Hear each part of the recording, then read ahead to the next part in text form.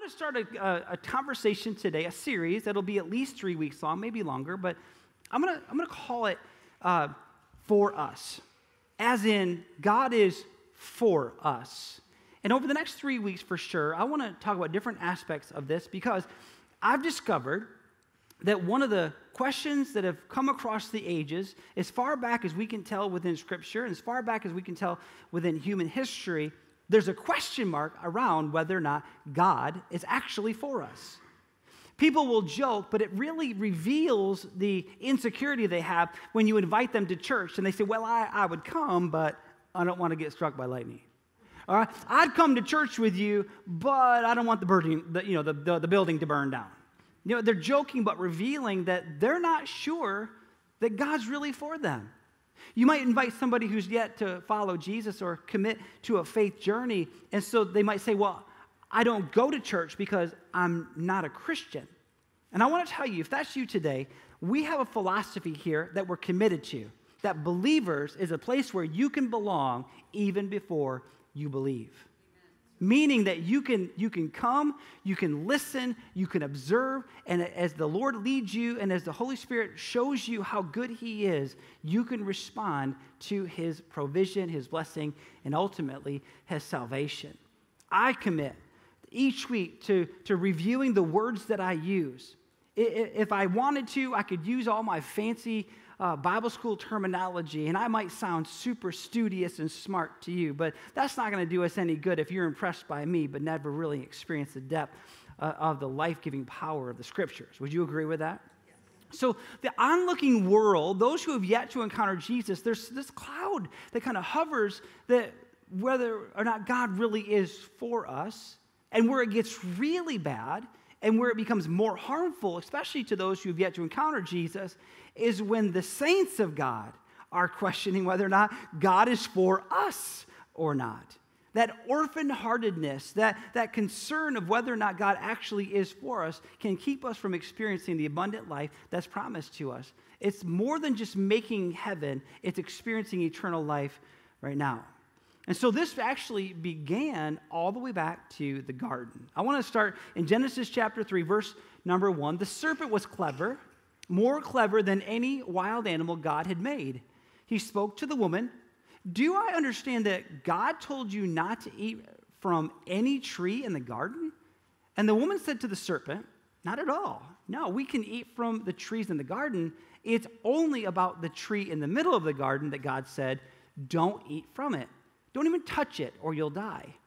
And the serpent told the woman, You won't die. God knows that the moment you eat from that tree, that you'll see what's really going on. You'll be just like God, knowing everything, ranging all the way from good to evil. And when the woman saw that the tree looked like it was good eating and realized what she would get out of it, she'd know everything, she took and ate the fruit and then gave some to her husband, and he did eat. The serpent came along to question Eve or to plant the seed of doubt. Is God holding out on you? Is, is God really for you after all? Because he told her that if you eat it, well, then you'll really see what's going on, as if God was keeping something from her. If you, if you eat it, you're going to be just like God, as if she already wasn't just like God. The question that was established from the beginning and what we wrestle with in humanity today is the same question over and over Is God holding out on you? Is God really for you? And so there's been this human effort, this human drive to answer that question Is God, in fact, really for me? And out of that, we've seen many different traditions established, we watched hierarchies and even different sects within uh, religious traditions, um, elitism among others, because we, we have this question mark if, if God is for us and they're doing this, well, if I do a little bit more, certainly then I get the golden star. Certainly then I can be reassured that God is actually for me. The problem with this, and we can see it played out throughout history, is that it puts the focus in the wrong space. It puts it all on I, if I, when I, instead of him and what he has already done. In Mark chapter 9, I'm not going to read the, the chapter, but I think you should make sure to write this down if it's not in your notes so you can double check that I'm not perverting the story. But the story goes like this Jesus comes into a community and he comes upon a young man who's born blind. And the disciples, because there's this, there's this uh, wrong focus, they ask Jesus the question so was it him or was it his mom and dad that sinned that he's blind? And Jesus said, it's neither. It's neither one. The, this is for God's power and for God's glory. And I don't fully understand all of what was going on there, but the question that came out of the disciples was there must have been someone who did something wrong, so that's why he's blind. And Jesus said, no. So he goes over to the young man and he pulls off one of his most spectacular miracles. He could have just prayed, he could have just spoke to him, but no. No, Jesus spits in the dirt, puts a little mud in the guy's eyeballs, says, Go out there, wash your eyes, and, and uh, you'll be well. And that's exactly what transpired. He got mud put in his eyes, gets cleaned, cleaned up, he can see, goes to the religious leaders, tells the religious leaders that he can see. And they're like, wait a minute, who, who, who, who did this? They were less concerned that this boy could see and more concerned with why would a rabbi heal somebody on the Sabbath? Talk about missing the point, right? So they're drilling him. Well, what did he do? What did he say? Who is this guy? And the guy's like, look, I don't, I don't know. All I know is that I was blind and he put mud in my eyes. I washed it out and I could see. And they're like, nah, we don't believe you. There's no way. And I'm telling you, they're looking through the lens of all that they do for God because of their religious piety. And this man who did nothing gets a miracle like this. If anyone's getting miracles around here, it's going to be me, right? Bring me your parents. Well, his parents are freaked out. They're like, man, I, I don't want to be on the wrong side of this, so that they kick me out of the community. And so they're drilling him, and they're like, look, all I can tell you is that he really was born blind. And, and, and they don't believe the parents that the kid was born blind. So they bring him back in, they're drilling him even more. And the funniest part is he finally just says, stop. I don't know what to tell you. I can tell you this I was blind, and now I see we have this propensity or this, this affinity rather for searching for disqualifiers. It's the human condition. We, we want to we wanna see that we tend to be, I don't say we want to, I don't know if any of us really want to, but we have this gravitational pull towards why they shouldn't or this couldn't or why I can't or why God wouldn't. It's this, this, this affinity towards what disqualifies us. And this message then permeates from the local church into the community, and we end up painting this picture of a God who's short tempered and a perfectionist. It gets worse. I mean, we start, we start getting into this imagery that God's some kind of a terrorist who can't wait to eradicate the very people that he created, and we just celebrated the fact that he died for. Why would he do that? Why would the God of, of love, out of his own image, create humanity?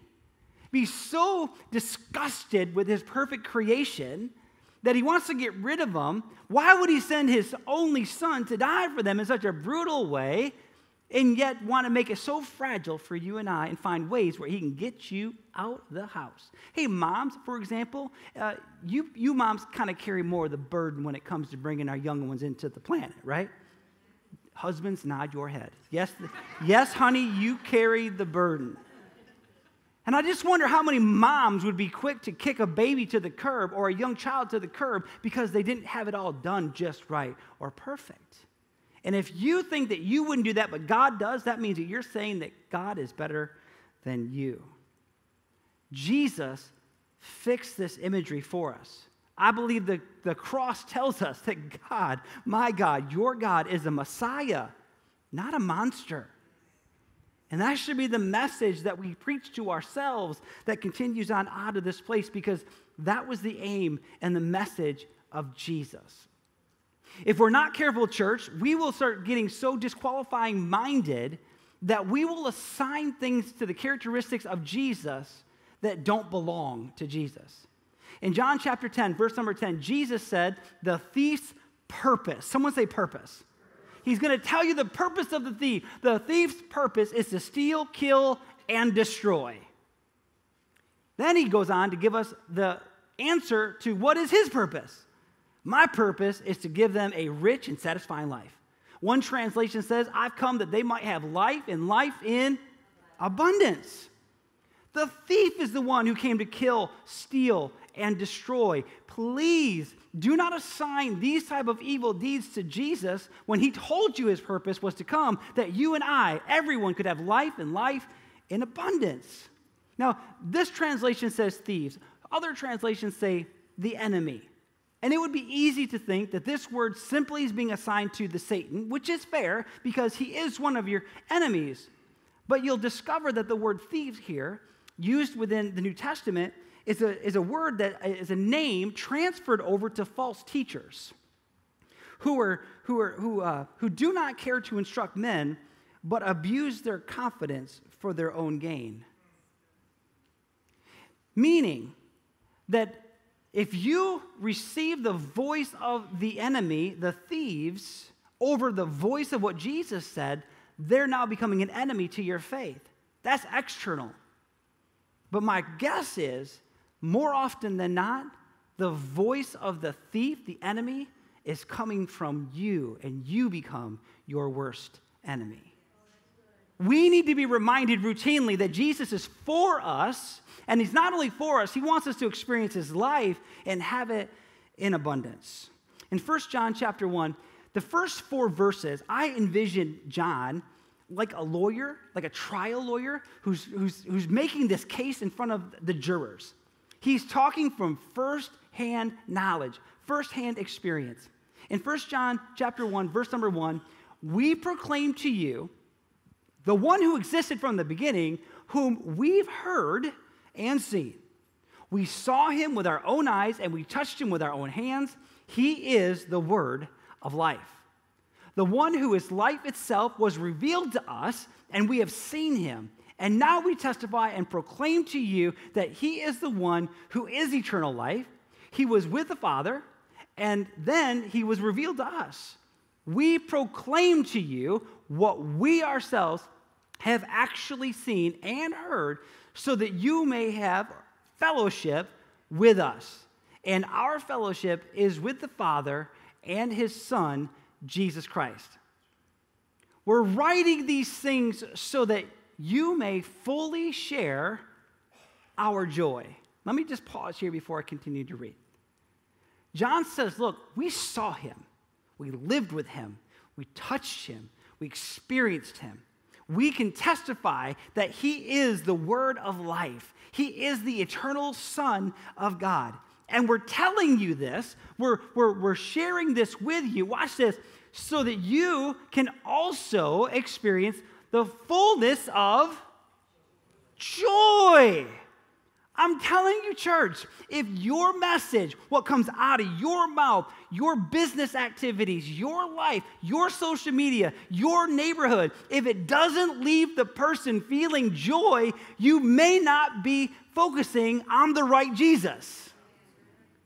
Because Jesus, or John said, all of this information, everything that we've experienced, we're sharing it with you, not so that you're terrified of God. We're not telling you this so that you can get into heaven. We're not telling you this so that you can escape hell. We're telling you this so that you can experience and share the joy that is overflowing in our lives.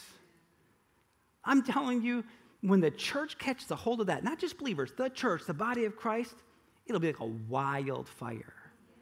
I'm telling you, the, Jesus was a magnet to broken, lost, immoral people.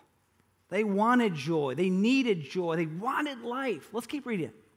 This is the message we heard from Jesus, and now we declare to you God is light, and there is no darkness in him at all. So we are lying if we say we have fellowship with God, but go on living in spiritual darkness.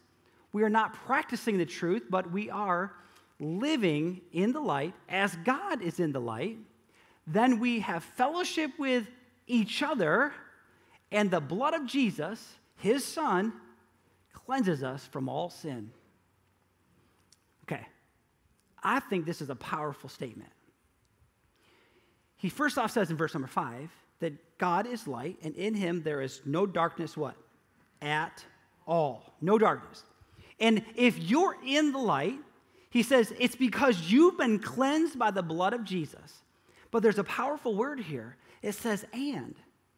And. Uh, let me go back here. And fellowship with each other and the blood of Jesus. Now, if you know me, if you've been around here for a little bit, y'all know that one of my least favorite words in the world is the word fellowship. I don't know what it is about it. It's just so churchy and cringy to me. I hate it. It doesn't work outside of church world, right? I mean, think about a couple of guys who just got off GM and they're heading to the restaurant to have a, a drink and, and, dinner together. Hey, want to go to want to go to the, the, the restaurant and fellowship? Right? Who talks like that? You know, it's like for me, it's like fellowship, glitter, speed limits. You know, I'll give you that. Now that being said, I decided to give fellowship a chance because it shows up so many times. And John says, look, it's about fellowship one with another and the blood of Jesus that our sins, that our sins are cleansed. It caused me to become emotional when I saw that the word fellowship here is the Greek word koinonia. And it's the same word used in the relationship that we have with the Father. No barriers, no separation, oneness with the Father that his desire is not just to have that access this way, but because we've been given that access, he wants us to have fellowship one with another. And that doesn't mean just those who are in the club, those that are in the church. It's one another. It's powerful. This word koinonia is also used, what, what brings us together. The, some of the examples that were given were if you were a brother and sister, a blood brother and sister, born, born from the same parents, what you have in common, this is uh, you can't take that away. It's your brother and sister, or your brothers, and, or you can't change that. If you're an American, whether you were born here or you, you're a citizen here, what we share together, we're part of that. And so, what God has made access to you, He's made access to all. For darkness to succeed, you see, in him is light, and in him there is no darkness. And for darkness to succeed, darkness somehow has to look like virtue. It is possible to be in Jesus and still operate in darkness if we don't understand this. There's activities that have been produced from Christians or religious people that look virtuous, but they're terribly harmful. It leaves you blind to your own illusions and convinced that you see perfectly. This one, this one's hard for me. I'm 45 years old, and so I'm, I'm, probably in the middle of the age range of people in our church. And there are some of you that have me by decades, and it doesn't matter if you're twice my age or you are the world record breaker, 125 year old person and you've been walking with Jesus and you've been going to church and you've been t- studying your Bible and you've gone to Bible school training, listen, I don't care if you've been alive for 125 years or 500 years. In the light of eternity, do you really think you could achieve the space of knowing all there is to know about God? All there is to know about Scripture? How arrogant of us to act like we have the corner market on something as if well, uh, the way that we see it, the way that we do it is the right way, and all those other churches are false. Be very, very careful. Because the moment you think you see it perfectly, you have switched over from confidence right into arrogance.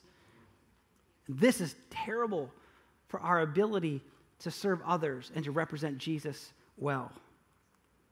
This is all at the heart of the problem the church has been advocating facelifts when heart transplants are what is needed.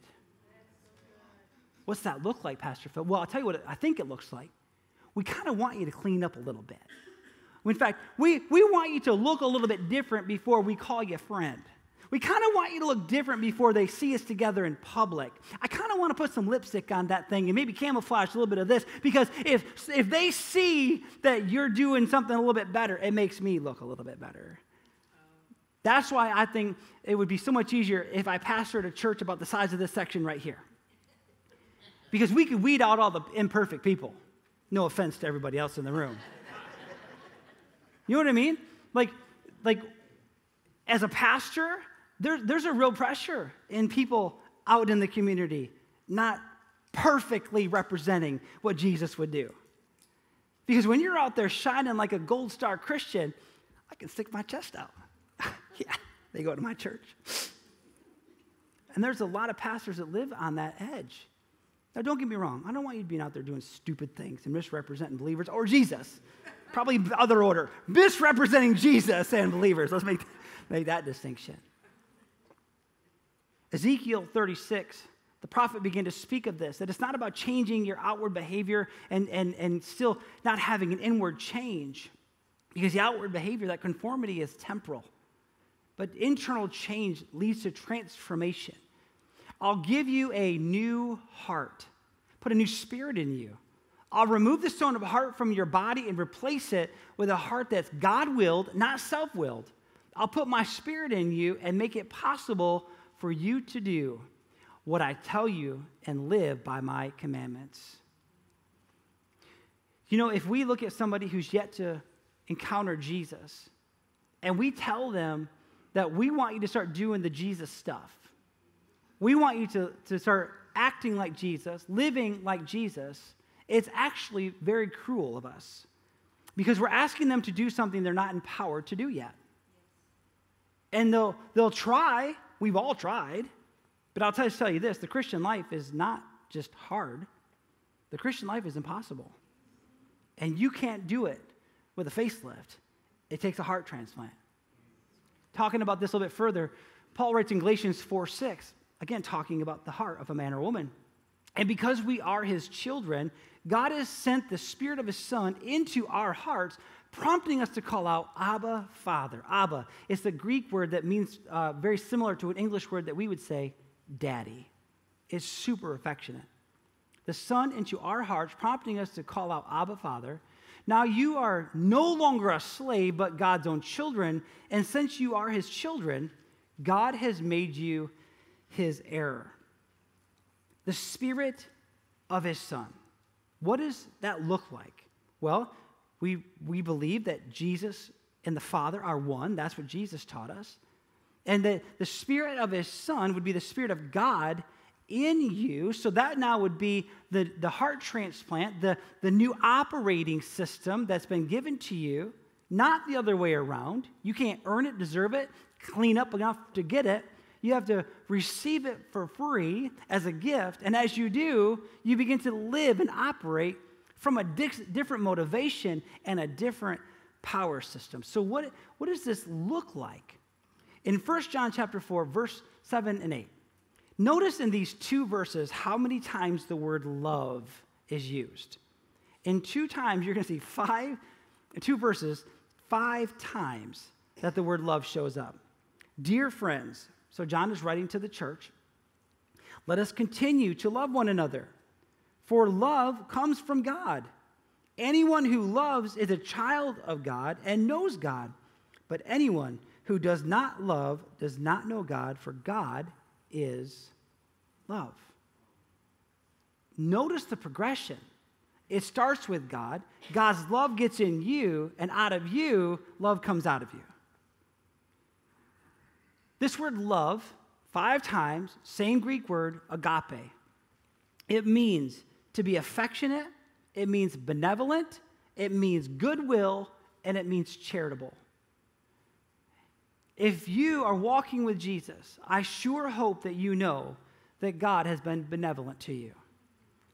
My prayer is that you understand the word charitable, charis, comes from the same word, grace. He's been gracious to you. That God's goodwill was shown to you. We just celebrated that last weekend by the death, burial, and resurrection of Jesus.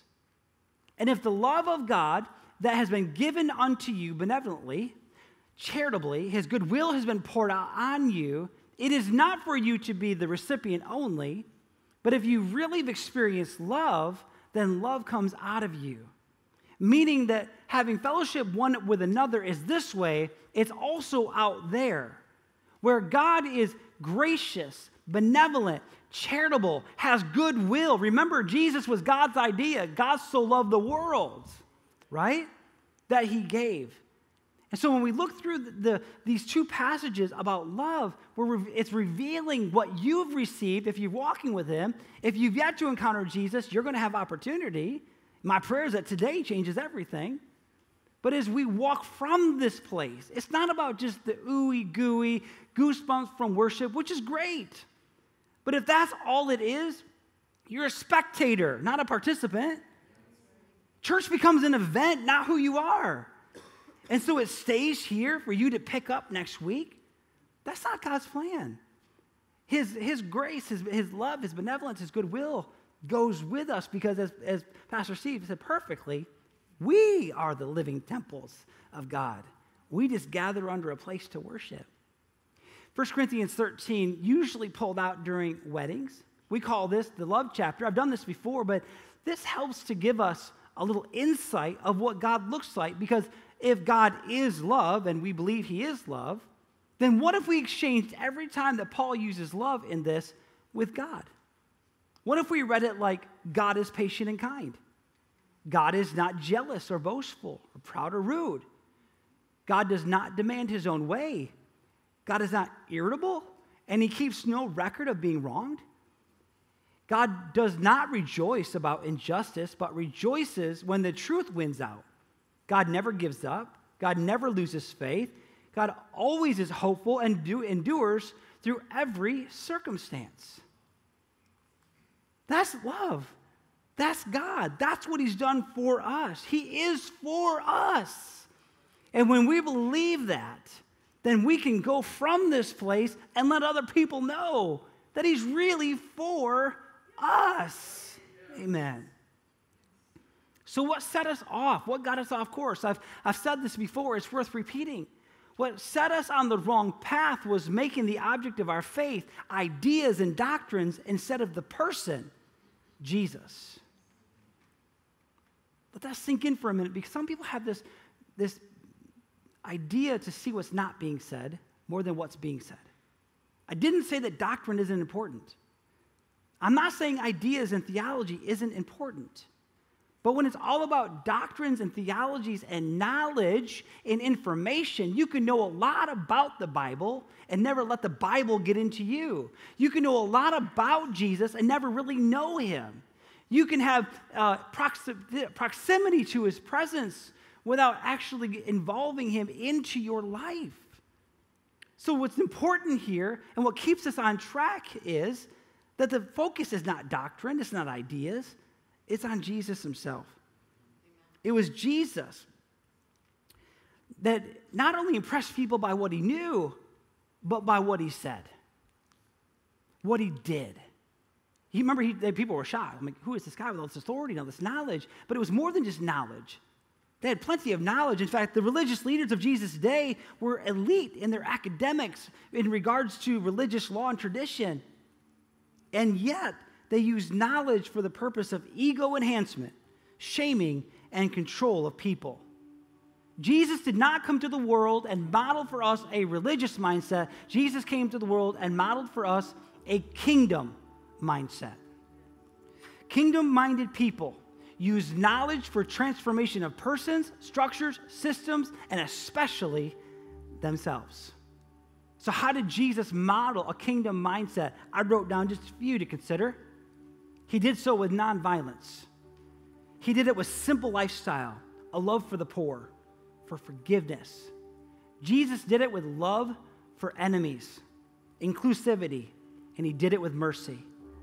Jesus showed us and modeled for us what a kingdom mindset was with not seeking status, not seeking power, not seeking perks, and not seeking possessions. If you have a religious mindset, then you're more concerned with about being right than you are helping. This is a, a terrible statement because it's so true. Blaise Pascal once said, Men never do evil so completely or cheerfully as when they do it from religious conviction. Some of the worst and darkest things to ever happen to humanity came from religious people thinking that this is what God thought and this is what they should be doing. The Apostle Paul was rescued in the midst of terrorizing people of the way. It could be said that the opposite of love is hate, but I want to submit to you that the opposite of love is evil. The root word there for evil is found in the Latin language mal, M A L, or mal, and it means bad or evil. The word dismal, for example, is derived from the Latin meaning evil day. A malice person does not think twice about performing evil deeds to hurt other people. A malefactor or evil doer is the opposite of a benefactor. Someone who is a maleficent fully intends to do evil. And the worst example of all, when you malign another, you say evil things about him, that is, you act in a malignant or evil fashion. Love does not terrorize people or speak ill of the ones that God loves so much that he sent his son for. If we're not careful, even as believers, we can act evil towards people that God saw fit to die for. Jesus shows up for you because he is for you. Final passage, Proverbs 18 24. Some friendships don't last for long, but there's one loving friend who's joined to your heart closer than any other. If you really want to know who's for you, pay attention to the people who show up at your best and in your blunder. Please be reminded, Paul said, Romans 5 8, while we were yet sinners, Christ died for us. I left out the opening part of that. He loved us, and He showed it to us by getting engaged at our worst. All of us have had blunders in our lives sin, mistakes, error. And not every one of them where we're, oops, I tripped over that thing. All of us have calculated, all of us have meditated, all of us have thought and fallen short. The battle that we have is in these moments when we've tripped up again, we've made the wrong decision again. We've, we've been at the altar, we've been up in the middle of the night, sitting before our, on our knees next to our bed, praying out to God, the infamous God, if you help me now, I'll never. If you will, if you'll fix this, I promise I will. And maybe you've done it 10 times or 100 times. And you're questioning whether or not if God is for me, because certainly I've wore him out on all my promises that I didn't keep. And I'll go back to what I said in the beginning of the message. The promise of God is not based on you and what you can keep and your promise. The promises of God and the covenant of God is established on His promise and what He's done for us, and it's on His word, His name, what He said, what He did. Now we can know for sure that He is for us. Amen. We have to have that so ingrained in us, church because you are having encounters with Jesus. You're students of his scriptures. How much more those who have never been exposed to any of that? They need to be exposed to you. The ones that are loved by him, that have the spirit of his son in you, not just the benefactor of his graciousness, but you also give it away. Would you stand with me? I want to pray with you. And I want to, I know I've gone over just a couple minutes, but I, I really feel like there's a moment here that we've got to hold, we've got to grab it. We got to grab it. We don't want to miss it. I think there are two primary categories of people. There are, there are, I'm speaking to the saints of God, those that are walking with Jesus, and you can relate. You, you question, you wonder, you beat yourself up. Can God really be for me? because I know better. I, I knew better. I'm still wrestling with this thing, and or whatever it is, I find myself off in the weeds. Is God for me? The answer is yes. And the fact that you're here hearing me say this, it should be a divine uh, confirmation to you to remind you that God is for you. And you need to simply say, Yes, I, I believe that. I believe that the accuser, the enemy, is the one who came into my life, who tries to come into my life to steal, kill, and destroy. But Jesus is the one who came that you might have life and life in abundance. The other category of individual however you landed here, whatever, whatever circumstances led up to this, I don't believe it's a mistake. I believe that God has divinely orchestrated us to be here. Because some of you have, have either had a perceived idea of a cosmic bully who can't wait to eradicate you. And so, why in the world would I go to a place that promotes that over my life when I'm already afraid of it? Or maybe you've had a misrepresentation in your life. A preacher, a priest, another Christian or religious person has misrepresented Jesus. Please don't blame Jesus for frailty of humanity. Jesus is perfect theology. And he will walk with you. He will show you that he will earn that trust, even though he's been trustworthy from the beginning. He's doing everything possible for each one of us to know that in our hearts. So if, if you would allow me, please, just close your eyes across this room. I'm not setting anybody up. I just want to pray. So, Father, across this room, may every heart be reassured. May every mind be put at ease. May every person, saints and sinners alike, may we come to the knowledge and the revelation of your goodness, your rescue, and your love. May every hindering thought, every broken promise, every sin decision, every falling short uh, moment of your life be laid down. And we draw the line in the sand. And we repent, meaning we turn away from that and we put our faith, our confidence. We're persuaded that God is who He said He is. And Jesus showed us who God is. And He's here today to woo our hearts to a place of surrender. There's no hoops or ladders to climb, it's a simple yes or a yielding. And if in your heart you say, Yes, Jesus, He'll swell every space that you'll give Him. And I just, I see people with their hands on their hearts. I see people's lives. I'm watching your countenances change. This is beautiful. Father, be glorified. Help us to know you better.